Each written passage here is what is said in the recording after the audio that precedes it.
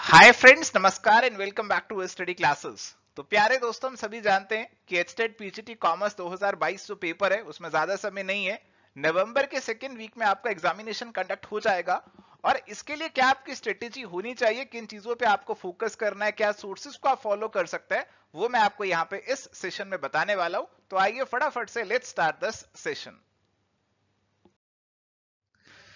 तो प्यारे दोस्तों, सबसे पहला काम मैंने क्या किया अब मेरे को आपको बताना था कि कहाँ पे किन चीज़ों पे ज़्यादा फोकस करें क्या चीज़ें एग्जामिनेशन परस्पेक्टिव से इंपॉर्टेंट है कहाँ से ज़्यादा सवाल आते हैं और इसके लिए मैंने पिछले पाँच साल के एचटेट के पेपर उठाए यानी कि मैंने 2021, 20, 19, 18, 17 ये पेपर उठाए। अब मैंने देखा कौन से पोर्शन से कितने सवाल यहाँ पे आए हैं। तो मैंने अपने सिलेबस को इन चार पोर्शंस में डिवाइड किया। देखो, ये अकाउंट्स और बिज़नेस स्टडीज़ वाला जो क्लासिफिकेशन है ना, ये केवीएस और एनवीएस में फॉलो करते हैं तो मैंने वैसे ही कुछ लेके वैसे ही कुछ लेके चला हूँ यहाँ पे।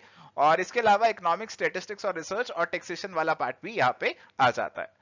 तो अगर मैं बात करूँ, कौन से पोर्शन से ज़्यादा सवाल आ रहे हैं तो 2021 की अगर मैं बात करूँ तो आप देख सकते हैं 28 सवाल अकाउंट्स कॉस्टिंग से और 32 सवाल बिज़नेस स्टडीज़ से। बिज़नेस स्टडीज़ के अंदर यहाँ पे मैं इंटरनेशनल बिज़नेस बिज़नेस लॉज और बिज़नेस फाइनेंस को भी इंक्लूड कर रहा हूँ। तो अब यहाँ पे आप देख सकते हैं कि लगभग वेटेज बराबर बराबर रहा। बाकी इकोनॉमिक स्टेटिस्टिक्स रिसर्च और टैक्सेशन से कोई सवाल नहीं पूछा गया। तो ये वाले टॉपिक्स आपके लिए बेहद इंपॉर्टेंट हो जाते हैं। और अगर आप ये ट्रेंड को देखेंगे तो आप देखते हैं कि लगभग सभी एग्जामिनेशंस में जो बिज़नेस स्टडीज़ वाला पोर्शन है उससे भरपूर सवाल आ रखे हैं। तो बत्तीस सवाल जैसे 2021 में आए और उससे पीछे अगर आप जाएँ तो देखें 33, 33, 36 और चौंतीस सवाल। तो 50 परसेंट से ज़्यादा सवाल आपके यहाँ से आ रहे हैं। तो this is your most important area जिसपे आपको फोकस करना चाहिए। अकाउंटिंग में 2021 में तो सवाल बहुत आ गए बट उससे पहले इतने सवाल इसमें नहीं आ रहे हैं। तो आप देख रहे हैं कि उससे पहले के अगर आप पेपर्स देखें तो अकाउंटिंग और इकोनॉमिक स्टेटिस्टिक्स रिसर्च का वेटेज कुछ कुछ बराबर बराबर चल रहा है। तो अकाउंटिंग के अंदर तेरह इकोनॉमिक्स के अंदर चौदह तो ऐसा कुछ आप देख सकते हैं कि बराबर बराबर वेटेज चल रहा है।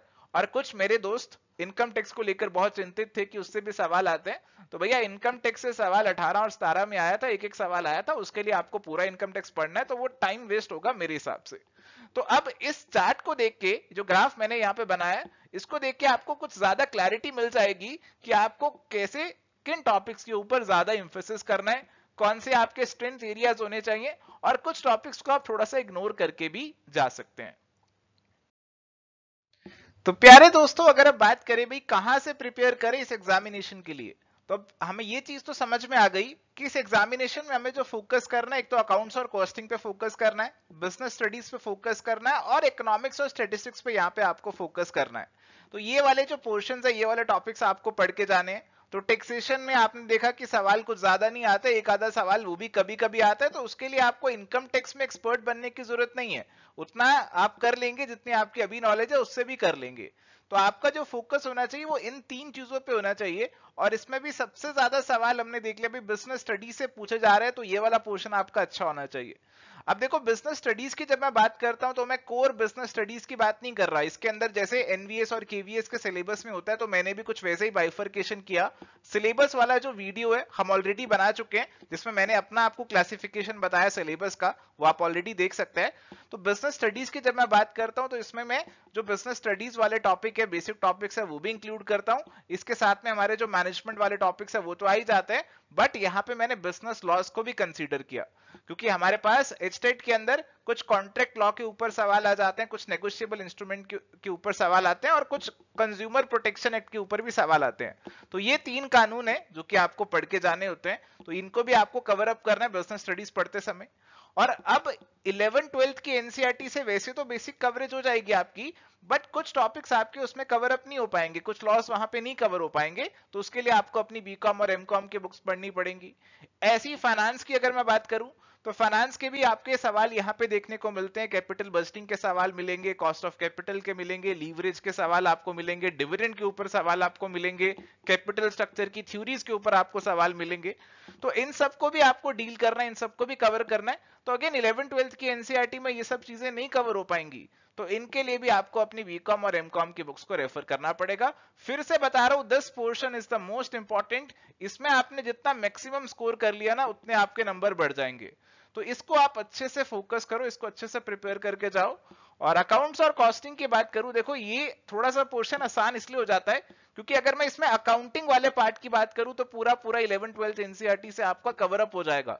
इलेवन ट्वेल्थ की एनसीआरटी का जो अकाउंट्स है, आपने वो अच्छे से पढ़ लिया तो एग्जामिनर इससे बाहर कहीं नहीं जाएगा। तो आपको अकाउंट्स के लिए तो इसी को रेफर कर लेना चाहिए। अगर मैं कॉस्टिंग वाले पोर्शन की बात करूँ तो जैसे कुछ सवाल स्टैंडर्ड कॉस्टिंग वगैरह के देखने को मिलते हैं मार्जिनल कॉस्टिंग के कुछ सवाल देखने को मिलते हैं तो इनके लिए आपकी बीकॉम एमकॉम की बुक्स ही आपको रेफर करनी पड़ेगी। बट अगेन ये नहीं है कि पूरा पूरा कॉस्टिंग आप पढ़ने बैठ जाएँ। थोड़ा सा आप आइडिया लीजिए कैसे सवाल एग्ज़ाम में आ चुके हैं, उसके अकॉर्डिंग ही आप उन्हीं टॉपिक्स को पढ़िए। इकोनॉमिक्स और स्टेटिस्टिक्स की मैं बात करूँ तो यहाँ पे आप इलेवन ट्वेल्थ की एनसीआरटी तो फॉलो कर ही सकते हैं बट यहाँ पे आपके ना कुछ सवाल थोड़े से हाई लेवल के आ जाते हैं, कुछ रिसर्च के ऊपर सवाल आ जाते हैं तो उनके लिए या तो आप अपने एमकॉम वाले नोट्स रेफर कर लो, या फिर यूजीसी नेट वाले अपने नोट्स भी आप यहाँ पे रेफर कर सकते हो। किसी भी एग्जामिनेशन को थ्रू करने के लिए सबसे इंपॉर्टेंट चीज़ होती है प्रैक्टिस करना। तो आपको एमसीक्यूज की प्रैक्टिस भरपूर करनी है। देखो, तैयारी की एक सीमा होती है, एक तैयारी आपको एक लेवल तक ही लेके जा सकती है। उससे आगे आपको बढ़ना है तो प्रैक्टिस ही आपको लेकर जाएगी। और प्रैक्टिस आप कहाँ से कर सकते हैं? एक तो एचटेट वाले, हर साल पेपर हो रहा है एचटेट का। तो एचटेट वाले जो भी प्रीवियस ईयर के सवाल है, आप पिछले पाँच छह सालों के सवालों को ज़रूर करके जाएँ। अदर स्टेट के जो पीजीटी के पेपर होते हैं, आप उनको भी सॉल्व करें। यूपी का है डी ट्रिपल एसपी का है केवीएस है एनवीएस है तो जो भी आपको बाकी पीजीटी के पेपर मिलते हैं, उनको भी सॉल्व करें। और और भी प्रैक्टिस करने का मन है तो आप यूजीसी नेट के प्रीवियस ईयर भी प्रैक्टिस कर सकते हैं। बट इसमें थोड़ा सा आपको सिलेक्टिव होना पड़ेगा। तो जो चीज़ें अपने सिलेबस में आपको उन्हीं पे फोकस करना है तो अब ऐसा नहीं है कि आप जैसे मान लीजिए कि आपने क्या किया, भाई इनकम टैक्स के ऊपर पूरे सवाल लगाने लगे तो इतना करने की ज़रूरत नहीं है। जो चीज़ें आपके सिलेबस में है, आप खास ध्यान जो है, उन्हीं पे दीजिएगा। ज़्यादा आपको और इधर उधर भागने की ज़रूरत यहाँ पे नहीं है, क्योंकि इस एग्जामिनेशन में अब हमारे पास ज़्यादा समय नहीं बचा है। प्यारे दोस्तों, आप एवर स्टडी क्लासेस का जो एस्टेट 2022 कॉमर्स का क्वेश्चन बैंक है, आप उसे भी चेकआउट कर सकते हैं। उससे भी आपकी काफ़ी अच्छी खासी प्रैक्टिस हो जाएगी और आपको फुल लेंथ मॉक टेस्ट भी यहाँ पे मिल जाएँगे, जिसमें आपके 150 क्वेश्चंस होंगे इंक्लूडिंग जनरल वाला पार्ट भी इसके अंदर कवर हो जाएगा। सो थैंक यू प्यारे दोस्तों। यहाँ पे हमने देखा कि हमारी एच टेट पीजीटी कॉमर्स 2022 को लेकर क्या स्ट्रेटेजी होनी चाहिए। तो अगर आपने इस एग्जामिनेशन को क्लियर करने का ठाना है, अगर आपका टारगेट है कि आपको हरियाणा के अंदर एक पीजीटी का जॉब चाहिए तो ये एग्जामिनेशन आपको क्लियर करना बहुत ज़रूरी है। परमानेंट वैकेंसीज भी बहुत ही जल्द आने वाली है। तो आई वुड स्ट्रांगली रिकमेंड कि आप फटाफट से अपना जो प्रिपरेशन है वो स्टार्ट कर दे। अगर आप थोड़े से भटके हुए थे, समझ नहीं आ रहा था क्या पढ़े या क्या ना पढ़े तो आई थिंक आपको यहाँ पे कुछ ज़्यादा क्लैरिटी मिल गई होगी कि कैसे आपको अपनी प्रिपरेशन को आगे बढ़ाना है। और प्रैक्टिस तो आपको भरपूर करनी है। So this is it for today. Thank you. Bye. Take care. All the best.